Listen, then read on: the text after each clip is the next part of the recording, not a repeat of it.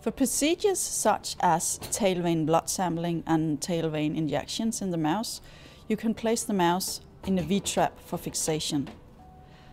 Pick up the mouse gently by the tail, place her in the V-trap. You now have free access to the veins. Identify the veins and gently introduce the needle.